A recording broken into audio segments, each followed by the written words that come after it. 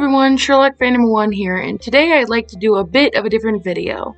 Instead of ranting or making a list or even reviewing a movie, I'd like to talk about something I feel needs to be said about one of my favorite movies. Now, it's no secret on this channel that I love the movie franchise Austin Powers, and I do. But something I'd like to discuss today is I would enjoy a fourth installment of this franchise, if not for seeing the characters return and the story continue, but also to see the whole movie franchise come back into the light. Sadly though, I don't see this being a possibility, and here's why. I know there are some articles out there about the whole idea of a fourth movie has been up in the air for years, but personally, as much as I'd love to see the film return, maybe the best thing for this franchise is for it to become a memory, and be passed down by those who wish to share it.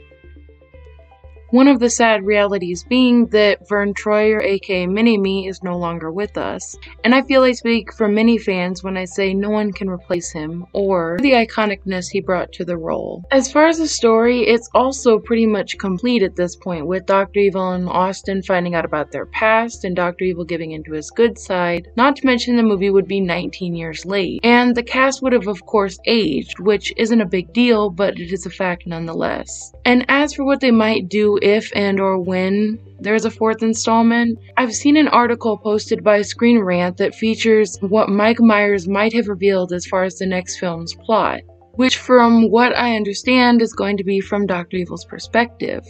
But don't we kind of already have that? I mean, throughout the movie, we see Dr. Evil focused moments as well as scenes where only his character and those he interacts with are around. So ultimately, what more is there to be seen, I wonder? And I guess what I want to say most about this film is although Austin Powers is not by any means a masterpiece of cinema, it's a movie I will treasure as a classic that everyone should see at least once.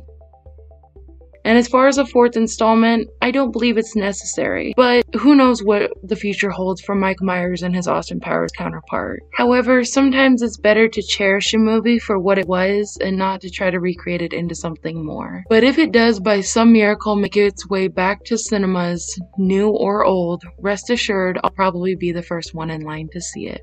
So that's all I got for today, and I hope you guys enjoyed. And thanks for watching and sticking around till the end. Be sure to like and subscribe for more. For now, this is Sherlock Phantom 1 signing off.